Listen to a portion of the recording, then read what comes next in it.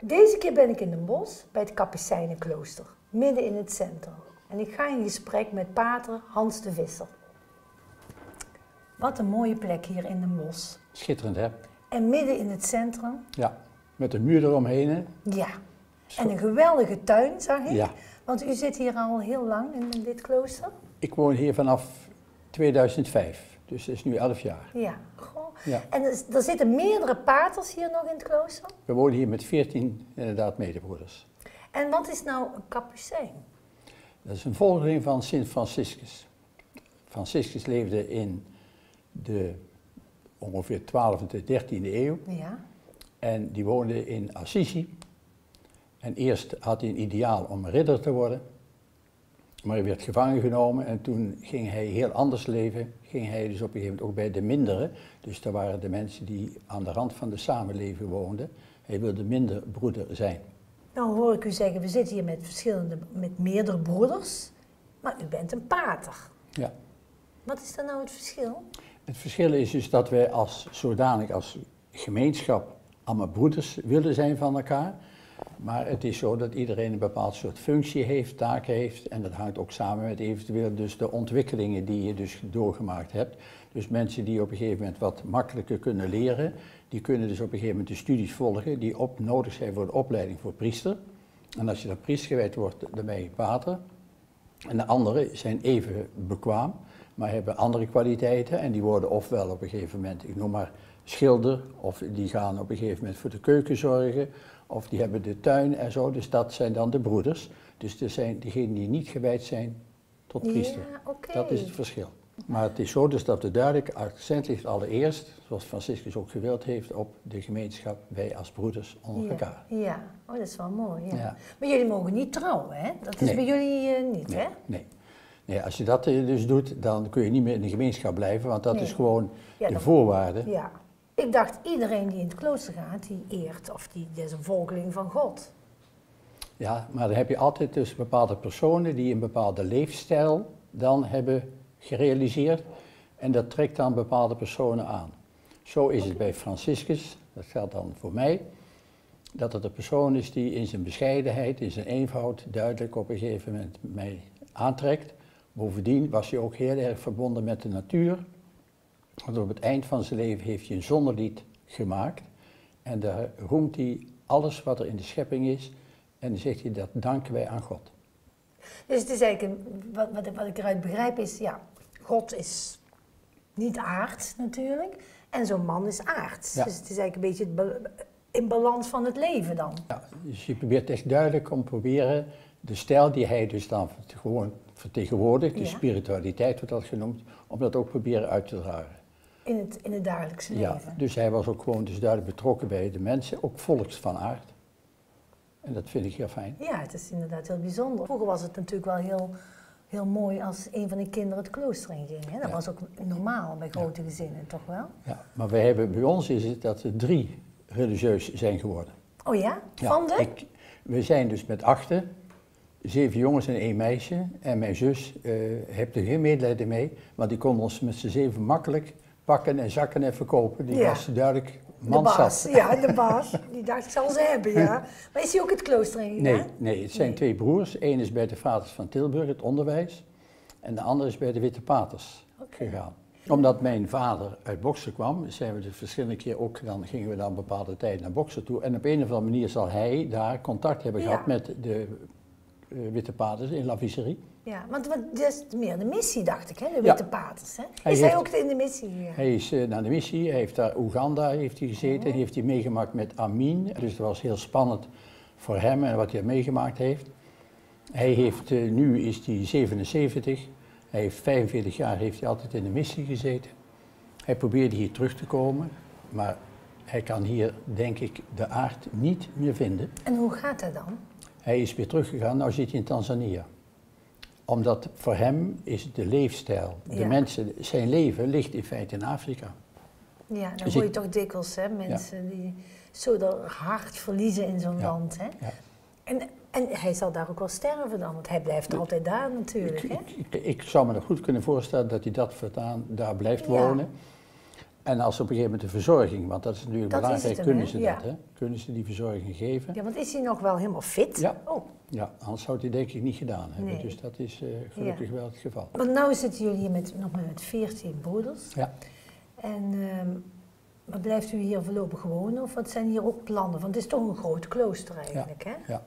Het is zo dat wij het beleid hebben, wat ik ook weer een goed beleid vind, als op een gegeven moment het aantal medebroeders kleiner wordt, dat we dan zeggen, een huis gaan we dus duidelijk sluiten, een klooster. En de medebroeders die wonen, die gaan naar andere kloosters waar dus nu nog duidelijk plaats is. Dat is voor die groep die daar woont natuurlijk wel heel triest. Maar je moet zorgen Ja. dat je de huizen goed blijft bewonen. Dat er niet op een gegeven moment eh, te weinig mensen wonen in een huis. Want dat is ook natuurlijk niet prettig. Dat Nee. wordt onheimisch, denken we. Ja. Ja, ook en ook voor het huis zelf. Hè? Als Ja. iets gedeeltes niet bewoond worden, dat is ook niet. eh, En waar, gaan jullie, waar zou je dan naartoe moeten als jullie dadelijk dan weg zouden moeten? Is Ja. dat dan ook al. eh, Ja, dat is dus besproken. oh, En zo, we hebben nog maar één klooster over. Toen wij in de jaren 60, toen hadden we 16 kloosters hier in Nederland. En nu binnenkort nog maar één. En dat is in Tilburg en daar is de verplegende verzorging. Dus dat is het laatste klooster wat wij dus dan nog kunnen behouden. En omdat we nog maar met een groep zijn die steeds kleiner wordt, zeggen we van hier met 14. Over een tijdje moeten we dus naar Tilburg, want er wordt daar weer meer bevolkt. ja. Ja. En is ook belangrijk in verband met de subsidiëring, in verband met de verplegende verzorging. ja, natuurlijk. Ja. Dus dat betekent dat zoals nu het perspectief is, dat we over 1, 2 jaren hier vertrekken. Maar ik heb ook aangegeven weer, daar heb ik weer dus mijn eigen inbrengetje. Daar heb ik gezegd van, ik wil daar toch wel een tijd in Bokstel blijven wonen, zolang mijn conditie goed is. ja.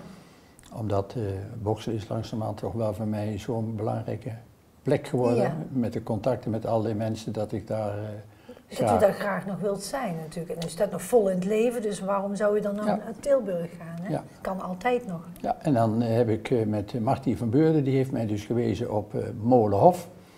En daar ben ik naartoe gegaan. En toen werd er aan mij gevraagd, wat is uw inkomen? Ik zeg, mijn inkomen? Alleen AOW. Maar meneer, dan komt u niet in aanmerking hier. Ik zei, oh, maar ik heb wel een hele provincie achter me die je dus dan dat aanvult. Want ik, al het geld van mij, wat ik verdiend heb, is meteen naar de provincie gegaan. Telt niet meneer, we hebben het vorig jaar is er een wet aangenomen door eh, de Tweede Kamer, waar op een gegeven moment je eigen inkomen is bepaald. Zeg nou, dan eh, ziet er voor mij somber uit. Ja. Maar je hebt dus geluk, want de zusters hier hebben besloten van JMJ uit Den Oh ja, Bosch, ja. dat er dus twintig kamers voor religieuzen zijn. Dus wij zullen overleggen en hoort hij van ons. Toen kreeg ik te horen, u wilde eigenlijk een grotere kamer daar hebben, maar daar komt je niet voor in aanmerking. U komt in een kleinere kamer, maar dan kunt je daar wonen. Ik zeg, nou, volgens mij zijn die kleinere kamers ook nog groot genoeg. Ik heb alleen nu even deze zorg dat de boeken die ik heb, dat ik die allemaal hopelijk daar kwijt kan. Ja. Want afstand doen, Ja. ik heb wel eens indruk dat mannen daar meer moeite mee hebben dan vrouwen om iets los te laten. ja, maar het is ook uw ding, hè? Het zijn ook uw eh, knuffels. Ja. Maar als het moet, dan moet het. Ja. Punt uit. Ja. Hoe komt dat u nou zo weg bent van Bokstel? Nou, dat is eigenlijk gekomen doordat ik eh, in 1982 mezelf de vraag stelde. Mijn vader is dus daar, heeft daar altijd opgegroeid. Mijn opa die is daar geboren. Hoe ver kan ik teruggaan met de familie in Bokstel? En eh, ik dacht, nou, dat zal niet zo lang zijn. Maar tot mijn grote verrassing kon ik teruggaan tot 1475 gedocumenteerd, omdat het allemaal op het archief bewaard is. En zo groeide bij mij steeds meer de belangstelling voor Bokstel. En gaandeweg niet alleen dus naar het verleden, maar ik kwam in contact met allerlei mensen ook in Bokstel. En ten nog toe bevalt me dat uitstekend. Ja. Uitstekend. ja. U bent eigenlijk op zoek gegaan naar de familie, Ja. Naar de roots Ja. eigenlijk. Ja, ja, dat klopt. En dat is zo dus dat ik op een gegeven moment daarbij geweldig geholpen ben door Wil Doyen. Dat was toen de gemeentearchivaris. Oké. Ik eh, vind zelf dat ik nog blij ben dat ik daar Piet Doornbos heb leren kennen. Dan zaten we met z'n tweeën in het gemeentehuis in de kelder bij een oliekachel. En het stonk naar de olie. En eh, een prachtig man. Ja. Heel stil, heel, heel, heel, heel lieve, aardige Ja. persoon.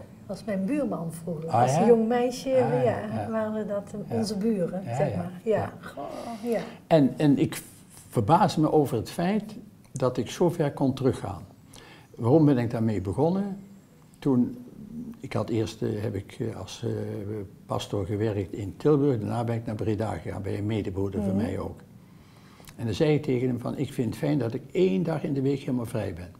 Dat betekent, als er bepaalde diensten zijn, uitvaart of doop of huwelijk, dan blijf ik hier. Maar anders vind ik het fijn dat ik bijvoorbeeld op woensdag naar de bos kan gaan. ja. Dan ga ik naar het archief, dan zit ik daar op een, een bank.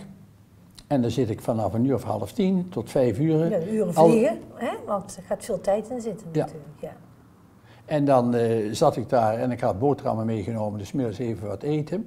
En dan proberen om die oude teksten, eh, gaandeweg teruggaande, om die te kunnen lezen.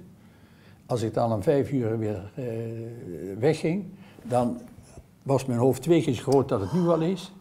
Omdat ik ontzettend inspannend, maar tegelijkertijd was het voor mij ontspanning. Was het dan druk in zo'n zo'n archief in een bos? Eh, Zitten daar veel mensen zo los? Toen, in mijn tijd, toen ik daar dus in het begin Ja. zo, was het, eh, waren allemaal wat lange banken en die zaten allemaal vol. Je zat op een lange bank en je zat allemaal aan de tafels en zo met allerlei boeken. Dus die zat inderdaad goed vol.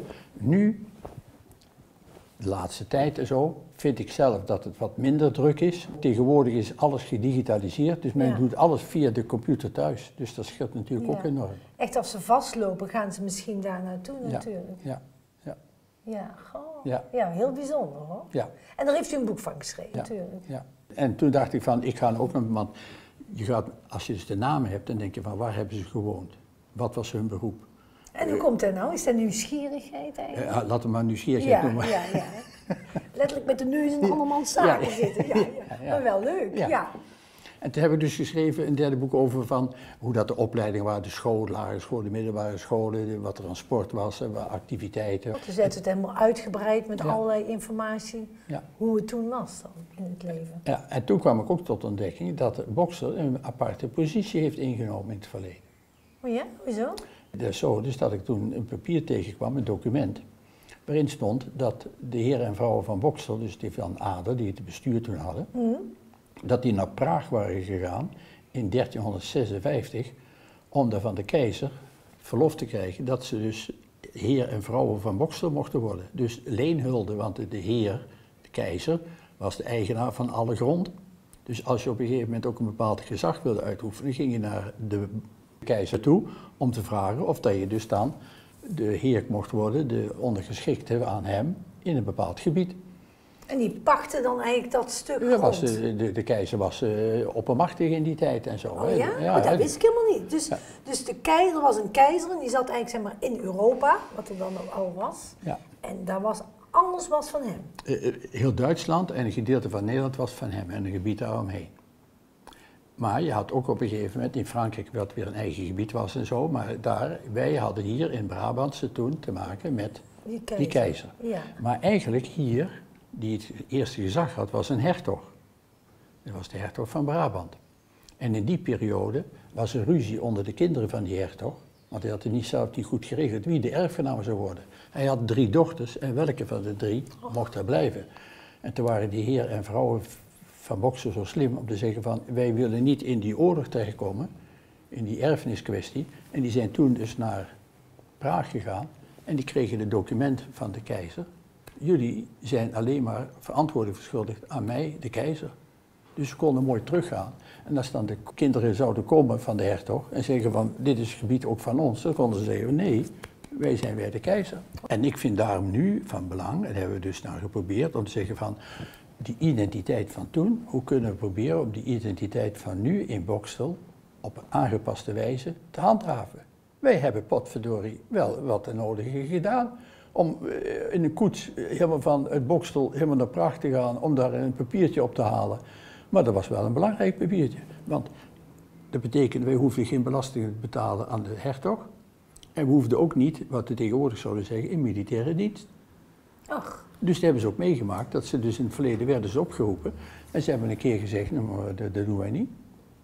Er was Dus- gewoon een klein landje in, een, in, het, in het land. Nou, dus ik vind het belangrijk om te proberen nu in deze tijd te zeggen van laten we proberen om de eigen identiteit van Bokstel Vast te vast te houden.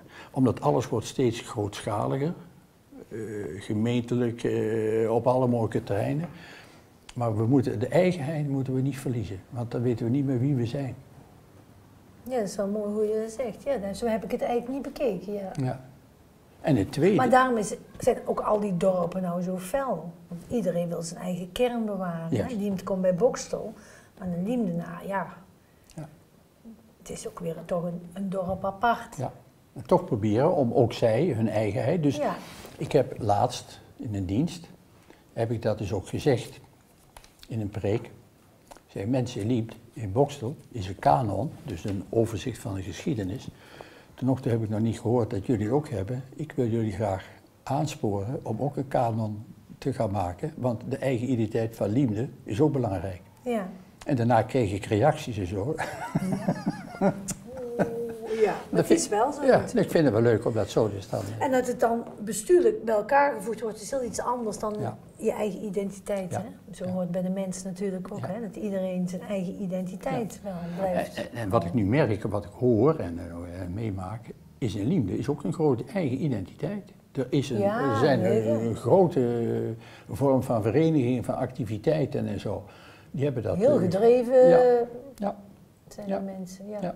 Dat je dan door zoiets toch zo'n hoop te weten komt. Hè? ja. Maar wat ik ook bij, dus naast de kennis hè, en het publiceren, vind ik het nu belangrijk om te zeggen van hoe kunnen we proberen om het over te dragen. Om datgene wat eh, uit het verleden naar voren komt, om te zeggen van wat kunnen wij daar nu in onze tijd mee doen. Ja, ik snap dat wel, ja. Ik vind het, ja, ik snap u, maar het lijkt me wel heel moeilijk, omdat het tegenwoordig, dat merk ik aan mijn kinderen, de wereld is voor hun veel minder groot dan voor ons. Ja. Hè? Ook door de computers en alles en die het vliegverkeer. Dus ik, ik vraag me, en de grenzen gaan open, dus het wordt allemaal wat zweveriger, wat ik eigenlijk helemaal niet goed vind, maar het gebeurt wel. Ja. Maar waar ik het nu probeer in te zoeken, onder andere, met, Mhm. samen met anderen, is bijvoorbeeld van, eh, er is op een gegeven moment een bijeenkomst geweest op de gemeente, op, tussen de kerk, Sint-Petersbasiliek Mhm. en Stapelen. Die as. Om die wat meer te promoten. Toen ben ik daar naartoe gegaan. En toen heb ik een verhaaltje gehouden, heb ik gezegd van, goh, wij worden de keistampers genoemd, hier in Bokstel. Is het niet aardig om proberen tussen Stapelen en de kerk, om daar op een gegeven moment bepaalde grote stenen neer te leggen. Dan heb je keien. En daar vanuit het verleden bepaalde dingen op af te beelden, gedenkstenen. En nu is in de as, er zitten daar dus die zes Ja. gedenkstenen in, die op een gegeven moment verwijzen naar het verleden. En dat vind ik gewoon leuk. om Ja. dat, om dat Ja, maar wat, wat jammer, want nou hoor ik dat en ik ben er eigen daar helemaal niet zo bewust van. En ik denk heel veel mensen niet. Ze weten wel van, van die as, maar niet zo dat wat u nou vertelt. Daar hebben mensen helemaal niet in de gaten, denk ik. Want die, die, die, die heer en die vrouw van Boksel, woonden die op Stapelen vroeger? Ja, die wonen toen Dat was hun huis. Ja. Dus Stapelen was eigenlijk het centrale punt. Ja. En daaromheen waren dan de huizen van Boksel. Ja, klopt. Later, ja, de kerk was er natuurlijk. Ja. ja. Of vandaar dat u zegt, die as is wel de kern van Boksel. ja. En die wordt doorkruist door een andere as. Oh Dat ja? is nu de rechterstraat. En dat was in feite het doorgaande verkeer uit die tijd. Vandaar dat ook allemaal daar de winkels zijn. Dus het verleden geeft weer Oh, ja. hoe dat nu het heden is. Dus die winkelstraat is belangrijk, die rechterstraat, om daar op een bepaalde manier ook, hoe kunnen we daar vorm aan geven? Ja. Dat, Terwijl dat het, het, het verkeer van, zeg maar, van Den Bosch naar Eindhoven, ja, dat liep wel over de markt, maar dat liep eigenlijk net langs de Stationstraat, Rechterstraat door naar Eindhoven, nee, toch? maar vroeger niet. Hè. Ging het dus over de markt en dan ging het via het, eh, het straatje zo door de rechterstraat. Ging het zo richting eh, Liemde en zo. Want vroeger had je allemaal natuurlijk dat ze door al die dorpen heen gingen. Oh ja, natuurlijk. Die, die, ja. die grote weg, die Eindhovense weg, die, Die was was in de dan, 18e ja. eeuw is die pas aangelegd. De winkelstraat is belangrijk. Leegloop, als ik er nu doorheen loop, dan denk ik, wat is- jammer. Wat Probeer ja. dat vol te houden om daar nu ook weer mensen in te betrekken. De activiteiten nu eh, die te plaatsvinden, herfstverstrijden en zo allerlei. Er wordt heel veel gedaan. Ja, ja. Ja, dat vind ik wel. en zo. Dat is, maar wat leuk dat u door dit voorval, door het zoeken naar uw familie, bent u zo betrokken bij Bokstel. Ja. En zo kwam het dus ook, hè, dus dat is één voorbeeld. Een ander wat ik dus nou het laatste heb meegemaakt. Mm. Dus op een gegeven moment, de MUBO, museum in Bokstel, ja. had dus een kanon gemaakt. En op een gegeven moment ging ik ook daar zo eens kijken samen met Dick Bol. Een kanon over? Een kanon over de geschiedenis, de belangrijke momenten van Bokstel. En ik kwam tot ontdekking dat in de eerste periode bepaalde belangrijke zaken, onder andere dit rondom die, dat ze dus eh, apart waren en die leenbrief hadden uit Praag, er niet vermeld als een van de vensters heette dan van de iconen. Ja. Hebben we overleg gehad met het bestuur. En daar zeiden ze me eens, is dat erin gezet. En op een gegeven moment vragen ze ook onder andere mij om bepaalde verhalen voor de vrijwilligers daar. dit soort, ja. dan wordt het toegepast ja op de mensen die daar nu komen. En die worden er bewust van en daardoor wordt het meer, krijgt automatisch meer inhoud. Dat vind ik, ja. Dan wordt het minder vlak. Ja. En het is nu ook zo dat er een museum eh, tentoonstelling is geweest in uh, uh, de Oertijdmuseum. Dat was het vorig jaar. En daar zijn ze in januari mee begonnen onder de titel Bokstel in de middeleeuwen. In juli vroegen ze mij ook daarbij. En toen was nogal wat accent op alles wat ze gevonden hebben in de bodem, archeologische vondsten. En toen zei ik van, goh, zou het misschien ook iets zijn om op een gegeven moment een filmpje te maken over die leenbrief, over de eigenheid van Boksel, omdat dat ook wel belangrijk is. Maar hoe zo'n filmpje te maken, dat document of zo? Of van, van dat document, een verhaal, is dat mogelijk? En ze Echt met acteurs en zo? Ja. En ik zei, maar over twee maanden hebben we al de opening van die tentoonstelling. Ik zeg, ja, nee, heb ik een jaar kan krijgen. Nou, ga je gang, ongelooflijk kijkend en zo. Nou, ik belde dus uh, enkele mensen op die ik ken, dus de acteurs, onder andere van de bloedspellen en zo, oh, en de bloed, uh, uh, de processie en processie, zo. ja. En ik kende ook dus een Guus Bekooi, kende ik toevallig ook. Die heb ik ook opgebeld. En ik leidde voor om een filmpje te maken. Kortom, Guus die kende weer Maarten Melis en binnen de kortste keer hadden wij een club bij elkaar. Er werd, binnen die twee maanden werd er een script gemaakt, opnames gemaakt. En toen de opening was, werd het filmpje getoond. En wat nou weer prachtig is, het begint met een jongen die samen met ofwel zijn moeder of een lerares naar het museum binnenloopt en die komt daar dat document tegen in de oude stijl. en dat is een filmpje van zes minuten maar ten nog toe, de reactie die we krijgen is ontzettend leuk. Ja. Wat is nu het heerlijke, vind ik, dat het gelukt is om een groep van mensen bij elkaar te krijgen. Die, het was in de zomertijd, die allemaal dat aan meededen. vrijwilligers? Ja, geweldig. En ik heb een keer aan eh, Guus en ook aan Maarten gevraagd om eens een keer mij te laten zien hoe dat er nou werkt, die opnames. Nou, dan hebben ze het over een screenscherm uh, en daar wordt overheen gegaan. En uh, hoe dat ze allemaal de animatie, dan denk ik van het resultaat, ik denk, hoe is het mogelijk om dit zo allemaal te doen? Wat nog de klap op de vuurpijl is, nu zeggen we, we gaan door. We gaan nog een filmpje maken. En nu proberen we een filmpje te maken over de Sint-Peterskerk. Oh, dat is ook een mooi, ja. Dat doen wij weer in Bokstel. Ja. Het gebeurt weer. Ja. En we proberen nou dus voldoende geld bij elkaar te krijgen om dat te kunnen doen. Want dit kost toch allemaal een hoop geld. Want mensen blijven natuurlijk niet altijd voor niks komen. Nee, dat kan niet. Nee, dat kan niet. Een grote groep wel, wat ik geweldig vind. Maar terecht dat er sommigen die zeggen van ja, het is wel mijn kostwinning. ja, natuurlijk. Is ook, ja. Dus we gaan nu op de schooi. Nou, dat doen we dan. Hè. Ja, en Dan, dan wordt het een film over het ontstaan van de kerk. Vanaf het begin is een klein kerkje, Romans kerk heeft daar gestaan. En de ontwikkeling dus gaandeweg naar deze grote basiliek die dan toen gebouwd is. En daarna zijn ontwikkelingen dat op een gegeven moment de muren ingestort zijn, dat er brand in de toren is geweest. En om dat goed te kunnen doen, wordt elke keer gekeken om van het ene jaar naar het andere te gaan. En dat daar weer de jongeren verteld wordt erover, denk ik dat het zo gedaan. En dat dan een man, en die gaat dan swipen, dat is met zijn hand over het scherm heen om elke keer van het ene jaartal een sprong te maken naar een ander jaartal verder in de tijd. Ja, wat een cadeau weer, als dat zo voor elkaar komt dan, of voor elkaar krijgt eigenlijk. Hè? Dat is zo bijzonder. Hè? Ja, ik vind het inderdaad echt geweldig dat, dat als er dan ideeën geboren worden, dat het ook gezamenlijk dat we ervoor gaan om dat te proberen te realiseren. Ja, want bij, bij zo'n project bij de, bij de kerk, ik begreep ook dat u dan bodemonderzoek heeft gedaan. Ja, ja maar waarom is dat dan? Nou, het was zo dus dat op een gegeven moment uh, die kerkheuvel was daar en dan las ik in de krant... De kerkheuvel is waar de begrafenisplaats is, of ja, niet? Ja, ja, dat is, dus een heuvel waar de kerk op staat dan, Oh, zo ja.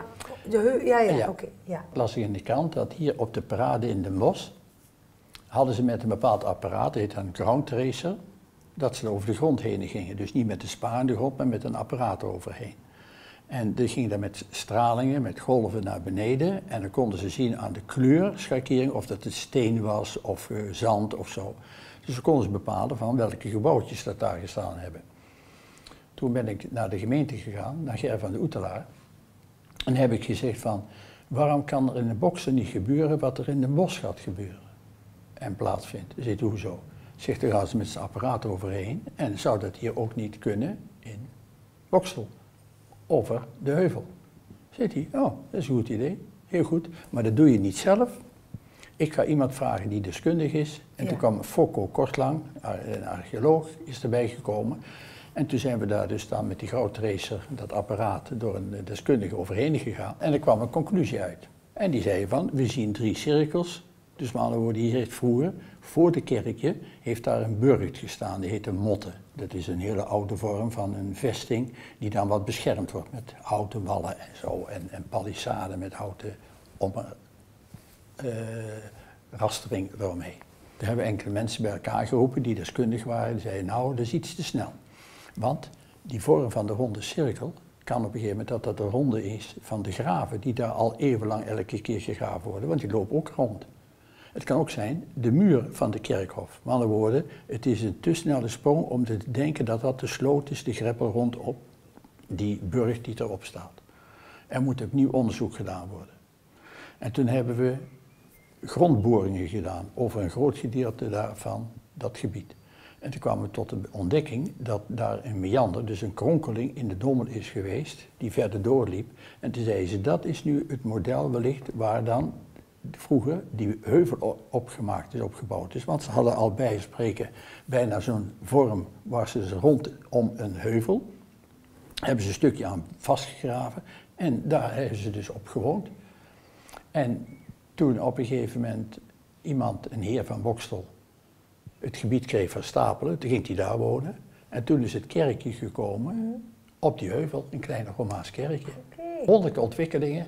En wat nou weer mooi is, weer probeert nu onze groep de jeugd erin te betrekken en dat die meespelen, zodat op een gegeven moment ook de jongeren via het onderwijs, didactisch en zo, daarmee door kunnen gaan. Deze groep heeft nu ook contact, zowel met de gemeente als ook met de scholen. Dus er is dus duidelijk een flinke betrokkenheid op dit geheel. Wat leuk zeg. Ja. Hoe zoiets ontstaat dan, hè, van het een op het ander. Ja. Zo is nog een ander, voor mij heel boeiend en wonderlijk verhaal, is dit. Op een gegeven moment eh, kwam ik erachter, met het onderzoek van mijn stamboom, dat er een, de visser is geweest in 1504. Mm en die had een bepaald uh, stukje grond aan de zusters geschonken. Ik denk, oh, dat wil ik er wel eens zien. Of dat ik dat documentje in kan zien en een foto kan maken. Die zusters die woonden aanvankelijk in Bokstel, maar die moesten weg in 1717 en uiteindelijk zijn ze in Mege terechtgekomen. Dus ik ben naar Mege gegaan. Die zusters, waar kwamen die dan vandaan? Wat voor orde hadden die? Of hadden die ook een bepaalde naam? Of... Ja, die uh, waren oorspronkelijk dus derde, derde ordelid en daarna zijn ze clarisse geworden. Wat houdt er in? Als derde ordelid dan ben je meer actief naar buiten toe. Ja. En als claris, als tweede ordelid, blijf je in je klooster en ga je werkzaamheden verrichten binnen het klooster. Die zijn dus een strengere levensstijl dan bij de tertiarissen, bij die derde ordelid. Ja, ja. Zo zijn ze begonnen in 1472 om daar naartoe te gaan naar Boksel als uh, als derde ordelid. Maar in 1504 hebben ze aan de paus gevraagd dat ze dus de volgelingen van Clara, dus Clarisse mochten worden. Toen bleven ze dus in hun klooster. En in hun klooster hebben ze activiteiten dus verricht. Tot op een gegeven moment in de 80-jarige oorlog, met de problemen van dien.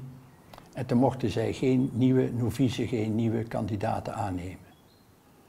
Dan zouden ze ook op een gegeven moment uitsterven. En die zusters waren slim. Die zeiden dan, goh, wij nemen geen novice meer aan, maar we hebben wel een dienstmeisje bij ons in dienst. En zijn ze toch door kunnen blijven gaan tot 1717, toen moesten ze weg. En toen zijn ze naar Megen gegaan.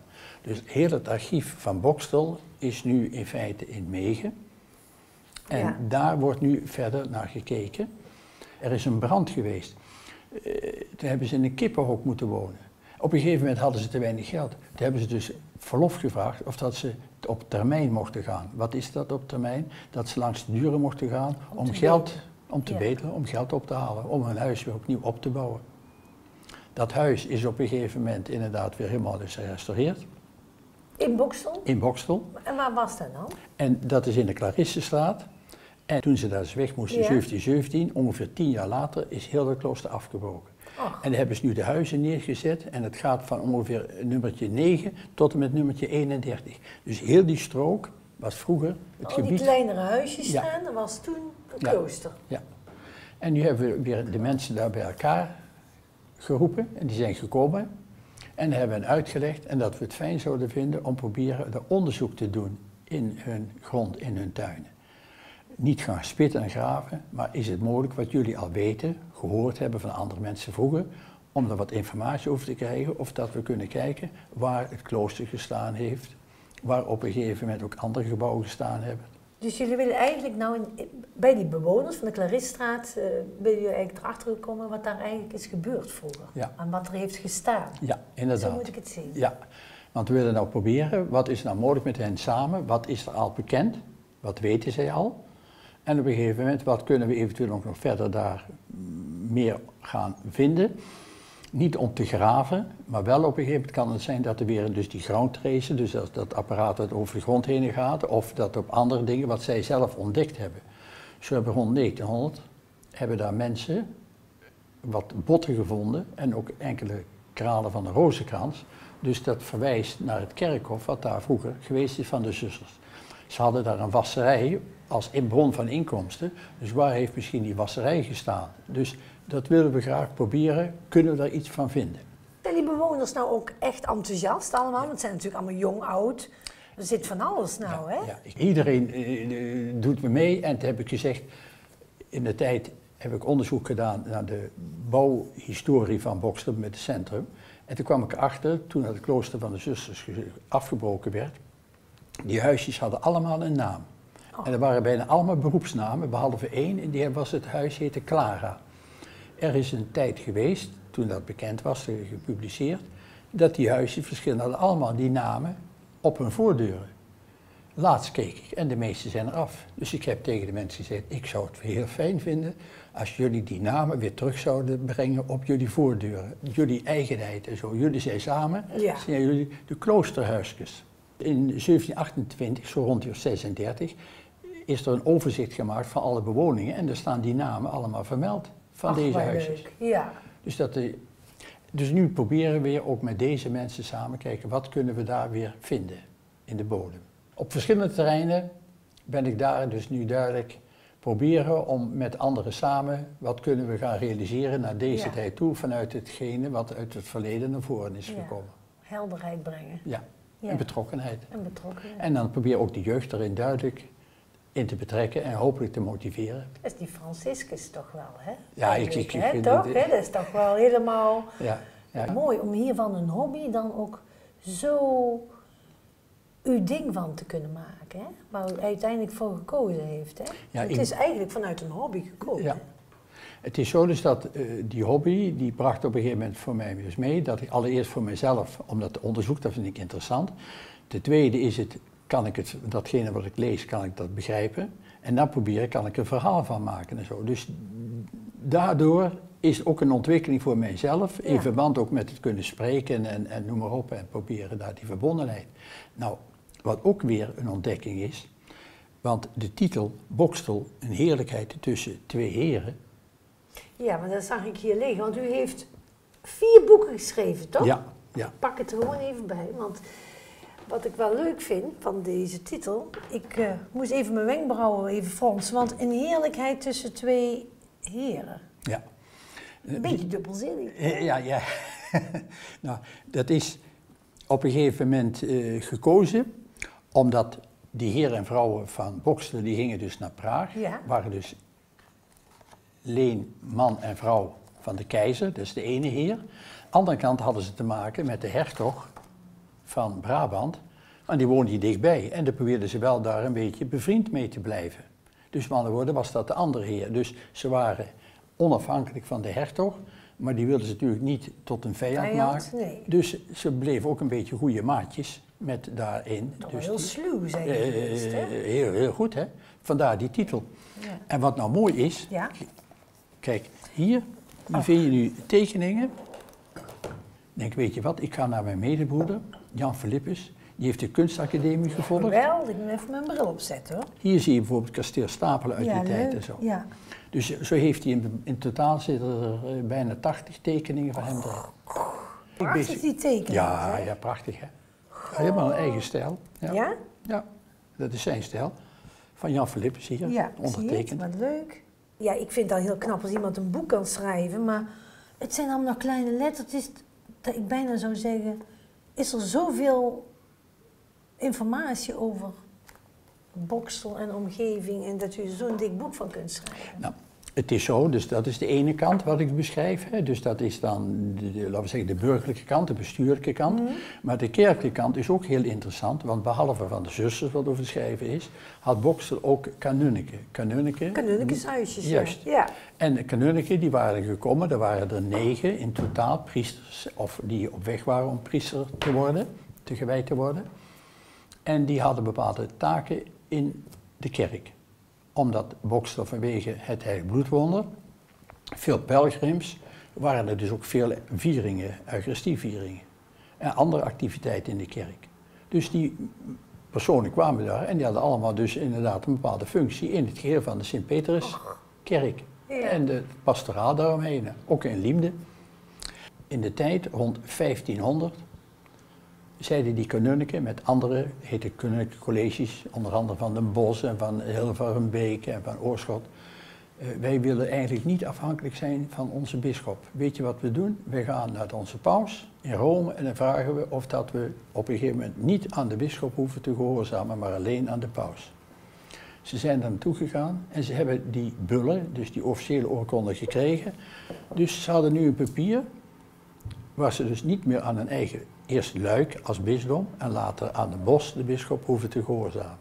Maar Het is alleen aan de een paus. beetje van die beetje baldadig, hè? Van die vlegels Het zijn zo'n heerlijke, het zijn zo'n heerlijke lui. Ja, hè, toch? Het Dus ze waren op twee manieren waren ze uitzonderlijk. Ja. Exempt heet dat dan.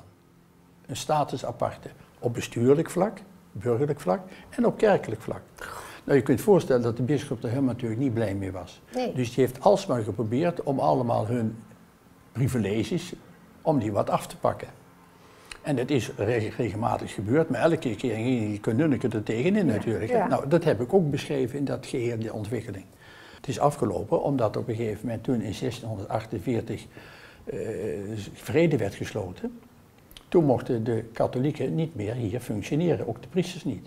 Dus heel die kanunniken weg. Allemaal weg, ja. Met andere woorden, het probleem was opgelost en de Ja. bisschop was ook weg. Dus met andere woorden, de- zo is het dus opgelost. Anders eh, was misschien nog een tijdje dat doorgegaan. Ja, weet dat je is wat, toch eh, wel een gestoei geworden, denk ik, samen. Die energie in Bokstel, op welke manier ook, maar Die ten zit er goede wel. had je. Die zit er wel. Ja. Maar dat blijkt, dat zie je nou wel, hè. er wordt uiteindelijk zoveel gedaan in Bokstel. Ja. Er zitten zoveel verenigingen, er is, eigenlijk is er ieder weekend wel ergens iets, Ja. iets te doen. hè. Heerlijk, ja. Ja, dus dat is Dus, wel leuk. Ja, ik lees elke week, krijg ik ook een Brabant Centrum en eh, ik, ik lees van A tot Z en Ja, zo. ja, dat is je moet op de hoogte blijven natuurlijk van de ontwikkelingen en zo. ja. Ja. Want dan, eigenlijk heeft u ook een beroep. Ja, dit is eh, mijn hobby. Ja. Ik ben geen eh, in die zin afgestudeerde van de geschiedenis of van andere vormen van de historie. Dat heb ik allemaal gedaan door zelfstudie. Wat is mijn werk dan? Dat heb ik vanaf het begin gedaan. In de parochie ben ik werkzaam geweest. In Bokstel. Nee, eerst was dat in Tilburg in Oh ja, 1970. ja. En daar heb ik heel veel huisbezoek kunnen doen. Soms als ik nu nog door die wijk heen loop, dan weet ik nog hoe dat die gang is en hoe dat daar die kamer. Omdat elke keer met verjaardagen ging ik een flinke groep van mensen daar altijd bezoeken. Dus het gaf ook een heerlijke band met die mensen. Tegen mij werd gezegd door mijn collega's toen, Hans, je moet hier een jaar of zeven, acht blijven en dan moet je naar een andere plaats gaan. Want er is weer een andere vorm van ontwikkeling van pastoraat en dan, anders ken je maar één kant, alleen maar die hier van Tilburg in de binnenstad. En toen was het zo dat wij in een klooster in de Velpen bij Graven werden allerlei groepen ontvangen in het weekend om over Franciscus en over Klagen te vertellen. En op een gegeven moment was weer de vraag, wie gaat nou een beetje weer daar de leiding geven, wie wordt daar de overste, heet bij ons Gardiaan, de bewaker van het geheel. Dus toen ben ik daar Velp gegaan en er werd dus dan overste, had ik dus gevraagd aan het bestuur dat ze het mhm. goed vonden. En uh, daar ben ik een, een, tijd geweest, wat mij ook heel erg goed bevallen is, om allerlei groepen daar te ontvangen en ook weer daar in de eigen kerkje van ons ook de vieringen te doen. Daarna, want ze zeiden van bij ons is het te gebruiken, als je overste bent, mag je drie jaren doen. Als je het een beetje goed gedaan hebt, mag je nog drie jaren doen, maar dan is het afgelopen. Dan worden alle balken en strepen die je maar hebt allemaal afgenomen. Dan word je weer gewoon minder broeder. Als dat is ook heel goed. Ja, voor het ego. precies. Ja. Maar niet tot je dood toe. Dit, dit vind ik een goede ontwikkeling. Ja. Ik heb drie jaar toevallig daar langer, omdat toen met de verbouwing. Maar toen moest ik stoppen. Daar heb ik heel erg zes jaar, zes negen, jaar. Negen jaar in oh, feite. dus over dus overschrijding van de oh, normale gebruik. Ja. Maar ik had vreselijke moeite om daar toen weg te gaan. Ja? Ja, dat viel, ik was zo verborgen. Ja. En uh, toen uh, dacht ik van, weet je wat, ik ga weer naar een plek waar het nou wat rustiger is. En toen ben ik naar uh, Herwe en Aard gegaan. Dat ligt bij Zevenaar, twee dorpen, bij de Rijn, bij Lobit. Daar heb ik ook weer zes jaar de pastoraat gedaan, met groot plezier. En toen werd ik weer gevraagd om weer guardiaan te worden, en nu in Tilburg. Toen ben ik naar Tilburg gegaan en daar met de verpleeghuizen, alle de dingen. Ook weer zes jaren, stoppen ermee. En toen dacht ik, waar kan ik nu naartoe gaan? Iedere keer moet je het wel loslaten, hè? Ja, maar ik hou de band met die veel mensen ervan. dus ik ben niet gebonden nog toe aan een bepaalde plaats. Ook niet in mijn geboorteplaats, want was ik gauw hè, rond 12 jaar weg. Maar wel aan allerlei mensen. Dus met kerstmis schrijf ik een 250 brieven naar allerlei personen die ik in de loop van de tijd allemaal dus... Dus u onderhoudt echt uw contacten met mensen. Oh, dat vind ik zo knap, ja. Dan ja. blijft het ook in je hart zitten natuurlijk, ja. Dus eh, toen ik daar, in, toen was voor mij de vraag, waar moet ik, kan ik nu heen gaan? Toen ben ik dus naar de bos gegaan hier, want in klooster had ik nog nooit gewoond.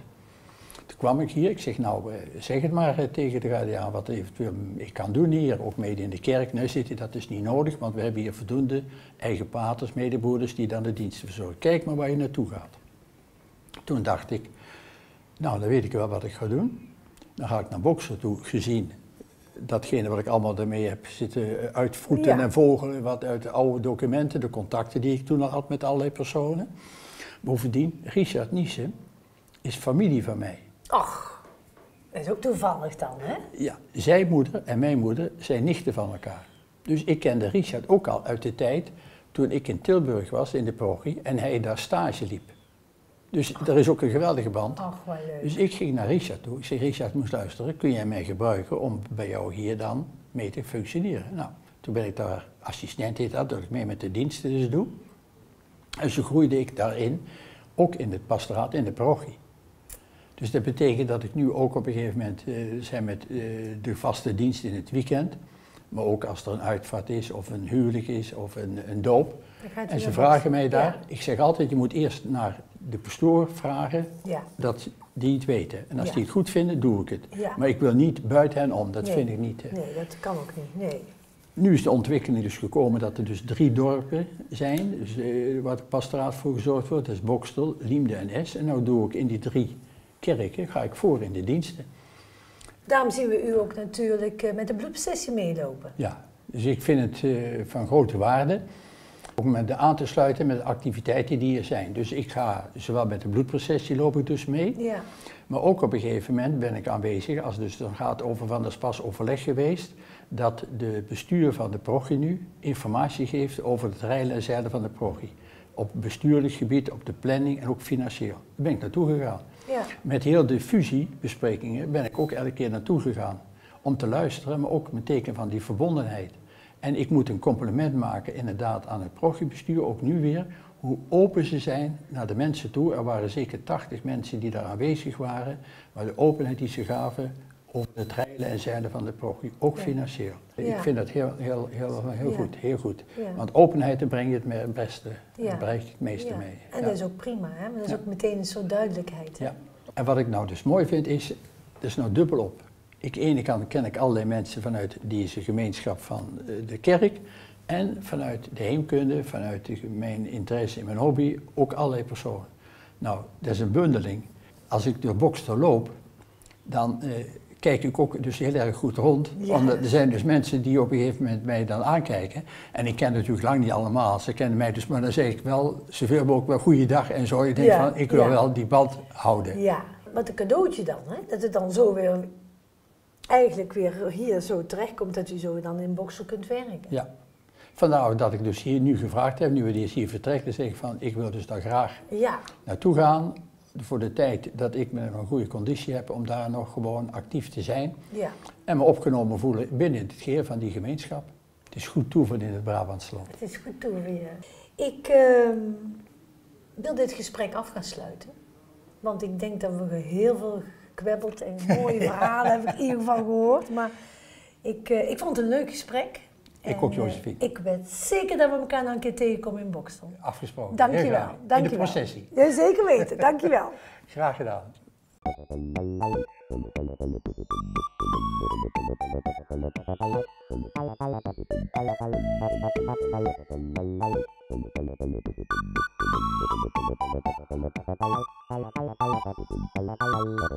you.